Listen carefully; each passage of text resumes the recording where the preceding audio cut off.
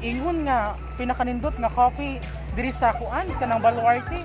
Murag diri man siguro to sa Baklayon oy. Ala, ako ko nang i-try bi ilibot-liboton diri sa baluarte. Kaya murag ganyan ra ko ka cravings og kanang kuan. Coffee. Asa ra man to oy?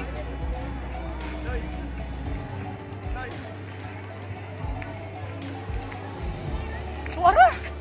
Kana atong testingan kung sa Ay wait lang akong singgitan. Kuya, kuya, diri pa tong coffee skina? Yes, diri sir. Unsay ato ah, sir? Patilawan lang ko ana ya.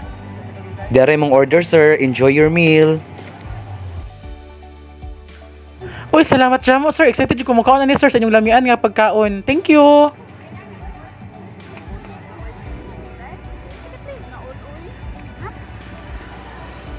Hala, mabusog nagig ko ani.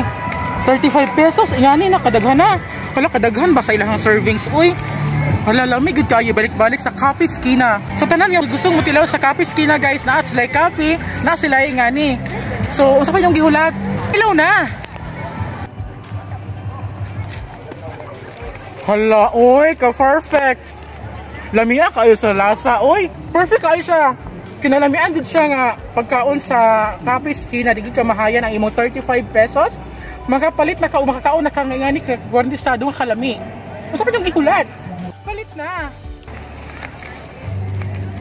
Mmm, lami.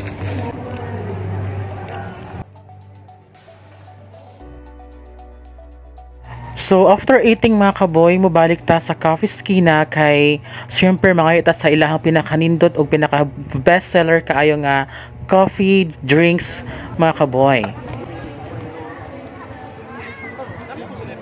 Tula, uy, lami ata silang coffee, uy. So guys, unsa pa yung gihulat? Palit na sa coffee skina. Mga kaboy, unsa pa man yung gihulat? Diri na ta sa Kape Skina. Lamian na, Barato pa! sulit!